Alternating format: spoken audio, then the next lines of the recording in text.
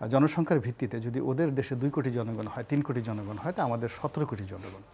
এখন এই সতেরো কোটি জনগণের মধ্যে দুই কোটি শ্রমশক্তি সরাসরি ইন্টারন্যাশনাল স্ট্যান্ডার্ডে আমরা কিন্তু আয় করছি। দেশের বাইরে থাকছি এবং সেখান থেকে আয় করছি। কিন্তু আমরা খরচ করছি কিন্তু লোকাল রেশি অনুযায়ী মানে ঢাকা অনুযায়ী। আমরা নিউ ইয়র্কের মতো খরচ করছি না। আমরা কানাডার মতো খরচ করছি না। আমরা আয় করছি লন্ডন, আমেরিকা, কানাডা, সৌদি আরবের মতো খরচ করছি। ফলে কি হচ্ছে? আমরা আয় করেছি, পর্যাপ্ত আয় করেছি। এখানে যদি সুশাসন থাকতো, গণতন্ত্র থাকতো, ভালো মানুষ থাকতো, তাহলে এই যে দশ লক্ষ কোটি টাকা পাচার হয়ে বিদেশে চলে গেছে